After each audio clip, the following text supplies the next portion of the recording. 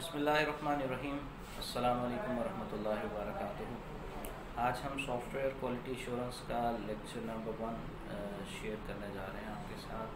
और आज के लेक्चर में हम देखेंगे कि हमारे पास सॉफ्टवेयर क्वालिटी एश्योरेंस किन चीज़ों के ऊपर रिलाई कर रही होती है क्वालिटी होती क्या है आ, हमारे पास कौन से पैरामीटर हैं जिनको इन टर्म्स ऑफ़ सॉफ्टवेयर जो है वो हम मैयर करते हैं जिन पैरामीटर्स के ऊपर हम अपनी क्वालिटी को टैकल कर रहे होते हैं। वो तमाम चीज़ें आज के लेक्चर का हमारे साथ so let start over to this lecture from what is quality quality is something like develop product develop product meets its specification so develop product हमारे पास क्या होती है कि कोई भी चीज़, कोई भी सॉफ्टवेयर हमने बनाया और उसको हमने एट द एंड चेक किया कि वो हमने जो कुछ बनाया है, क्या वो हमारी स्पेसिफिकेशन को मीट कर रहा है कि नहीं?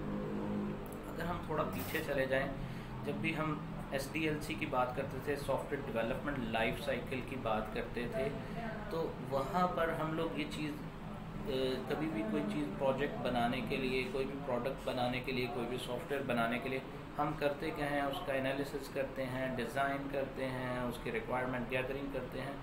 वट्स एवर एक प्रोसीजर से गुजरते हुए देन हम एक इम्प्लीमेंटेशन फ़ेज़ के ऊपर आते हैं। एंड देन हम चेक करते हैं कि वेदर इम्प्लीमेंटेशन के बाद हमारा सॉफ्टवेयर हमारी रिक्वायरमेंट की, को मीट कर रहा है कि नहीं। सो स्पेसिफिकेशन यहाँ पर हम जब कह रहे हैं कि develop product meets its specification so यहाँ पर मतलब ही यही है कि हम क्वालिटी मैयर ही तब होती है कि हमने एक प्रोडक्ट बनाई हमने चीज़ को इम्प्लीमेंट किया एंड देन मैयर किया कि वो हमारी स्पेसिफिकेशन को जो कुछ रिक्वायरमेंट थी वो आइधर क्लाइंट साइड की जो रिक्वायरमेंट थी या हमने बनाने से पहले किसी प्रोडक्ट को खुद से अपनी स्पेसिफिकेशन को या अपनी रिक्वायरमेंट को खुद से सेट किया तो वो आइधर मीट कर रही है कि नहीं। सो so, इन क्वालिटी को अगर हम जेनेरिकली देखें तो हमारे पास develop product meets its specification जो है, वो हमारे पास जेनेरिकली क्वालिटी कहलाती है। अब प्रॉब्लम क्या आती है यहाँ पर? Development organisation has requirement exceeding customer satisfaction customer specification अब हमारे पास होता क्या है? डे बाय डे आपकी एक चीज़ आपने बनाई इनिशियली आपका client day by day increase होता जाएगा। Day by day client increase होने से होता क्या है कि आपके हर एक क्लाइंट की रिक्वायरमेंट डिफरेंट होगी। जब हर एक क्लाइंट की रिक्वायरमेंट डिफरेंट होगी तो आपकी स्पेसिफिकेशन चेंज होती जाएगी। हर एक क्लाइंट को आप कभी भी सेटिस्फाई नहीं कर सकते। इसकी मिसाल हम जेनेरिकली ले लेते हैं कि जैसे हम किसी वेबसाइट के ऊपर जाते हैं, किसी एक इंसान के लिए तो वो वेबसाइट का लेआउट हो सकता है, बहुत अच्छा हो। लेकिन आपके लिए हो सकता है वो वही वेबसाइट वर्स्ट केस के अंदर आपको लग रही हो आपको वो डिज़ाइन पसंद ना हो आपको उसके अंदर बहुत ज़्यादा एरर्स नज़र आ रहे हो आपको उसका स्लाइडर अच्छा ना लग रहा हो उसकी नेविगेशन के अंदर आपको जो है वो फ्लॉज लग रहे हो।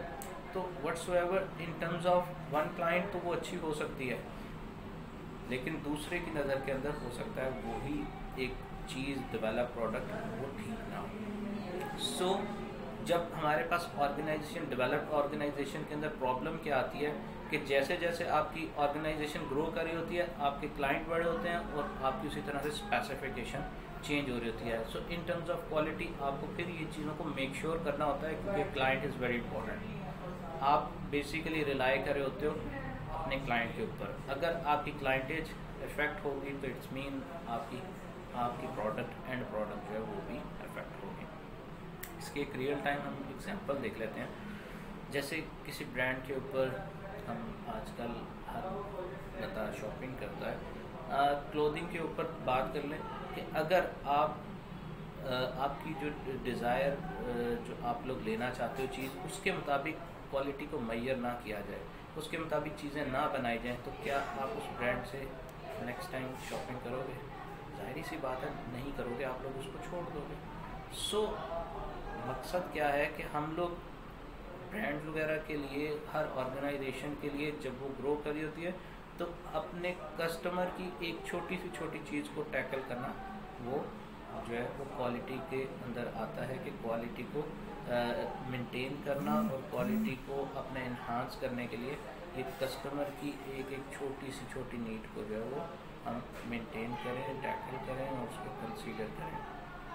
Certain quality characteristics can not be specified in unambiguous terms अब बाज़त कुछ ऐसी रिक्वायरमेंट्स आ जाती हैं यूज़र यूज़र की तरफ़ से क्लाइंट की तरफ़ से, जो कि आपके पास मेंटेनेबिलिटी के अंदर आ रही होती हैं, जो कि आपको लगता है कि वो ज़रूरी नहीं है। जिनको अपने सॉफ्टवेयर के अंदर, अपने प्रोडक्ट के अंदर लाना ज़रूरी नहीं है तो हम उन चीज़ों को, और लेकिन क्लाइंट कह रहा होता है कि उन चीज़ों को लाजमी रखो। लेकिन आपके पॉइंट ऑफ़ व्यू से टेक्निकल पॉइंट ऑफ़ व्यू से वो चीज़ें नहीं थी तो वहाँ पर प्रॉब्लम आ जाता है क्वालिटी को मेंटेन करने में। क्योंकि क्लाइंट कुछ चाह रहा है और आप कुछ चाह रहे हो। एक एंटी डायरेक्शन आ गई और वहाँ पर जाके एक प्रॉब्लम क्रिएट आ जाता है। हम क्वालिटी की ये प्रॉब्लम्स को डिस्कस कर रहे हैं कि हमारे पास कौन कौन सी प्रॉब्लम आती है। एक तो डेवलप जब ऑर्गेनाइजेशन हो जाती है, तब क्लाइंट पर्सनल आपके पास जो क्लाइंट्स के व्यूज़ आते हैं या फिर अब जो दूसरा हम बात करें कि क्वालिटी की करेक्टरिस्टिक्स जो है वो हम कभी भी स्पेसिफाई नहीं कर सकते।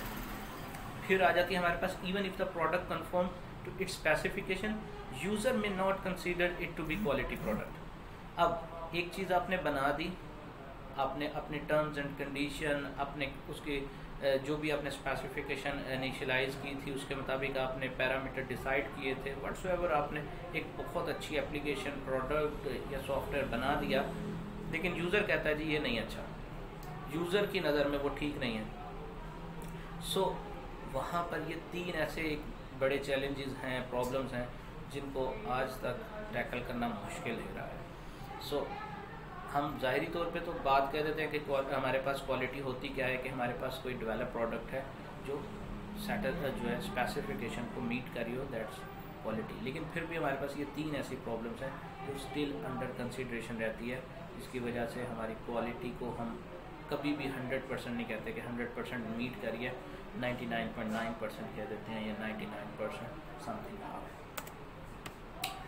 next हमारे पास आ जाता है what is quality management quality management क्या होती है?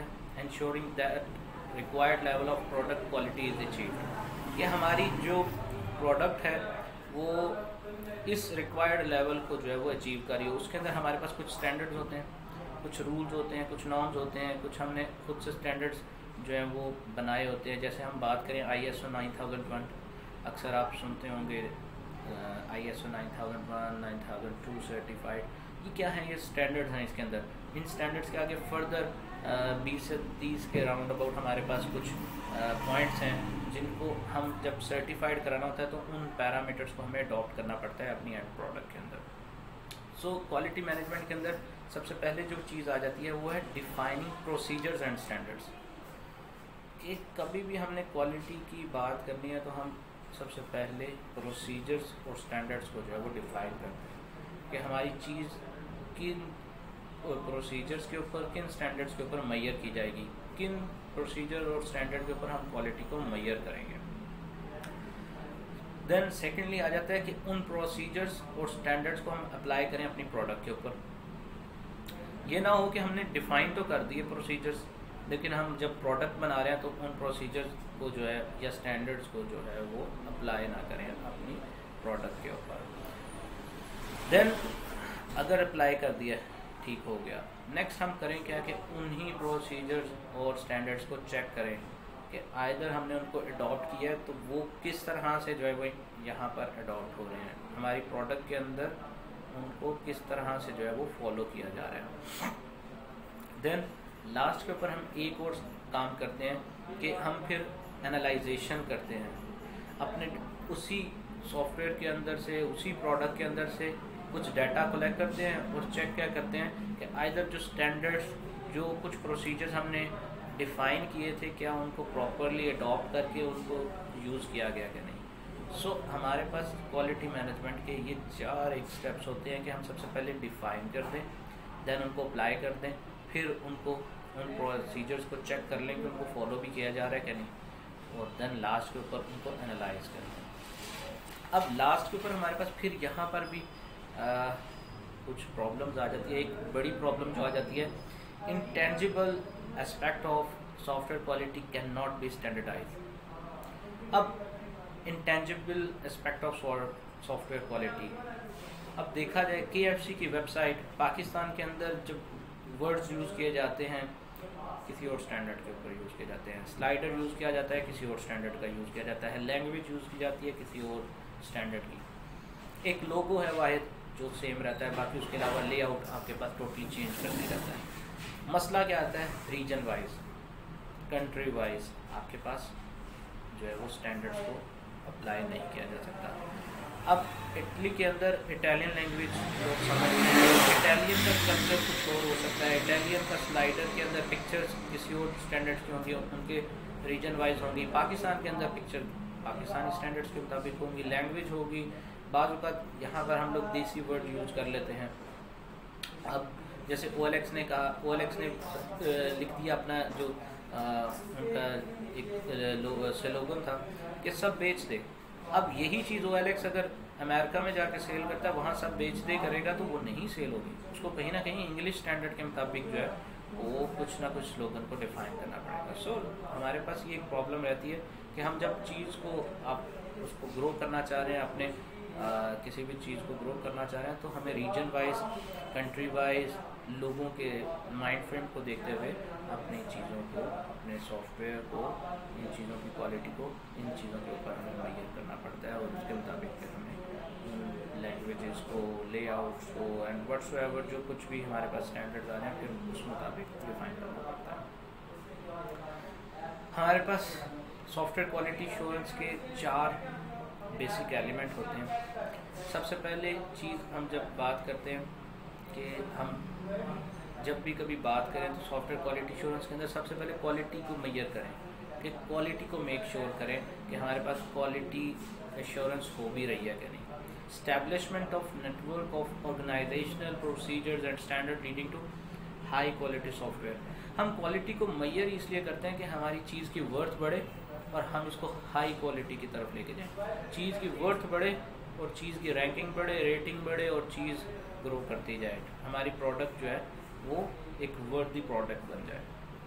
देन हम दूसरे नंबर पर जब भी बात करते हैं एलिमेंट्स की जो हमारे सॉफ्टवेयर क्वालिटी इंश्योरेंस के अंदर होते हैं, उसके अंदर सॉफ्टवेयर क्वालिटी प्लानिंग आ जाती है। देन हमारे पास क्वालिटी कंट्रोल आ जाता है एंड देन क्वालिटी मेट्रिक्स आ जाती है। क्वालिटी प्लानिंग क्या होती है कि selection of appropriate procedure and standard from this framework and adoption of the specific software project अब प्लानिंग क्या है कि हम जब भी कुछ procedure and software procedure and standards बनाएँ तो वो इतने अप्रोप्रिएट हों कि वो रियल टाइम के अंदर इम्प्लीमेंटेबल भी हो।